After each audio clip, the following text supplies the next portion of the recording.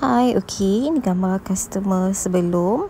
So, customer nak yang uh, something yang simple sebab skin pun tengah problem. Just nak ada coverage sahaja. Alright, I cadangkan supaya uh, pakai Royal Propolis Compact Powder ni sebab dia ada full coverage, ada SPF 30. So, customer yang uh, skin bermasalah tak perlu nak pakai banyak-banyak benda. So, bila nak cuci pun senang.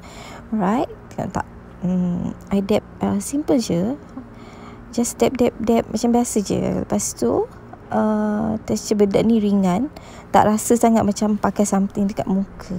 Alright, ni dah siap dah. So